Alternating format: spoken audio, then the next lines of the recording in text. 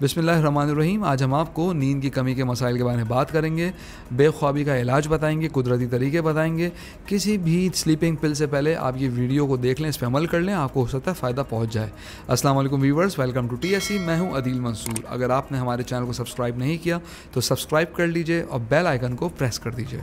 एक पुरसकून नींद बहुत से जहनी और जिसमानी बीमारियों से बचा सकती है।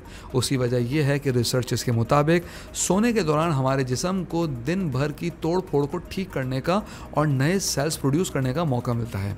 अगर आपकी नींद ख़राब रहती है तो ये ना सिर्फ़ चिड़चिड़ेपन और उलझन की वजह बन सकती है, बल्कि दिन भर आपके जिसम में थकावट का और कमज़ोरी का एहसास बरकरार रह सकता है। नींद की कमी यानी बेख्वाबी आजकल बहुत ही कॉमन मसला बन चुका है। इसकी बहुत सी वजूहत के साथ एक बहुत बड़ा मसला सोशल सोशल मीडिया का बेजा इस्तेमाल है।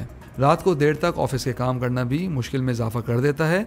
तो आगे चलने से पहले एक ज़रूरी पॉइंट आपको बताना चाहूँगा कि प्लीज़ रात को आठ बजे के बाद अपने मोबाइल को बंद कर दीजिए, सोशल मीडिया ऐप्स, यूट्यूब वगैरह, इन सबको डिसकंटिन्यू कर दीजिए। ये नशे की तरह हमारे अंदर स्लो पॉइजनिंग की तरह उतर रहा है। आपके फ़ोन्स लैपटॉप टीवी हर चीज़ आपके सोने के कमरे से बाहर होनी चाहिए। चले अगर बाहर नहीं रख सकते तो कम अज़ कम आठ नहीं तो नौ बजे आप इसको बंद कर दीजिए ताकि आप पुरसकून नींद आगे हासिल कर सकें। ये अहम बात है, इस पर अमल किए बगैर कोई गज़ा, कोई दवा काम नहीं कर सकती। बेख्वाबी से परेशान लोगों के लिए हम आपको कुछ टिप्स देंगे, जो आपके लिए बहुत फ़ायदेमंद हो सकती हैं। सबसे पहले अहम बात मैंने आपको बताई कि सोने से पहले तमाम टीवी और इस तरह की एक्टिविटीज़ को बंद कर दीजिए। ईशा की नमाज़ ज़रूर पढ़िए और सोते वक्त सोने की दुआ पढ़िए और कोई ना कोई वृत पढ़ना शुरू कर दीजिए। अल्लाह का ज़िक्र, दिल का सुकून है, ये तो आप जानते हैं। तो इस तरह एक तरह की मेडिटेशन भी होती है। इस तरह करने से आपको आराम पहुँचाने वाले हॉर्मोन्स रिलीज़ होने लगते हैं, आपका स्ट्रेस कम होने लगता है और आपकी बॉडी रिलैक्स हो जाती है। वीवर्स ये तो कुछ स्पिरिचुअल टिप्स थी जो मैंने आपको बताई। अब आपको एक दिलचस्प बात बताता हूँ कि हमारी गज़ाओं में कुछ चीज़ें ऐसी हैं जिनके इस्तेमाल से हमारे दिमाग से नींद को बेहतर बनाने वाले हार्मोन्स निकलने शुरू हो जाते हैं। कुछ वाइटामिन जैसे कि vitamin B six B twelve और फॉलिक एसिड बहुत ही ज़बरदस्त असरात रखते हैं। इन वाइटामिन के इस्तेमाल से आपका सेरोटोनिन हार्मोन नींद को बेहतर करने में बहुत मदद देता है। अब इन वाइटामिन को हासिल करने और सेरोटोनिन को बनाने और काम करने के लिए कुछ चीज़ें हैं जो बहुत ज़्यादा फ़ायदा देती हैं। एक सादा सा फॉर्मूला है add fibre and low saturated fats and minus simple sugar यानी अपने गज़ा में फ़ाइबर को बढ़ाइए लो सेचूरेटेड फैट को कम कर दीजिए और सिंपल शुगर वाली गज़ाओं को माइनस कर दीजिए। तो सबसे पहले बात करते हैं कॉम्प्लेक्स कार्बोहाइड्रेट की। देखें, आपने सिंपल शुगर्स को माइनस करना है, जैसा कि स्वीट चीनी, मीठे मशरूबात सॉफ्ट ड्रिंक्स वगैरह। ये सेरोटिन लेवल्स को कम करते हैं, जिससे नींद ख़राब होती है और कार्बोहाइड्रेट्स को खाना किस फॉर्म में है? कार्बोहाइड्रेट्स आप ज़रूर लें, लेकिन उसमें आपने ब्राउन राइस ब्राउन ब्रेड लेनी है। सफ़ेद चावल से ब्रान और जम निकाला जा चुका होता है, जो फाइबर, मिनरल्स और वाइटामिन का बेहतरीन सोर्स है। इसके अलावा सब्जियों और फलों का इस्तेमाल करें। दूध और दही भी कार्बोहाइड्रेट्स की अच्छी सोर्स है, लेकिन उनमें भी फ्लेवर नहीं होना चाहिए, यानी बिल्कुल नेचुरल और आपने सादा इस्तेमाल करना है। नंबर टू है लीन प्रोटीन इसमें हमारे पास मुर्गी और मछली बेहतरीन चॉइसेस हैं। लो फैट चीज़ भी बहुत अच्छा है।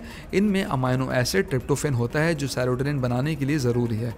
लेकिन यहाँ भी आपने डीप फ्राई चीज़ों से परहेज़ करनी है, क्योंकि उनको हज़म करने में काफ़ी वक्त लगता है, जिसकी वजह से नींद डिस्टर्ब होती है। एक और अहम बात यहाँ बतानी ज़रूरी है कि रात के खाने और आपके सोने के वक्त के दरमियान कम अज़ कम तीन घंटे का वक्फा ज़रूरी होना चाहिए। उस वक्त तक हमारा निज़ाम हज़म रिलैक्स हो चुका होता है। नंबर थ्री है हार्ड हेल्थी फूड्स अखरोट, बादाम, पिस्ते, काजू।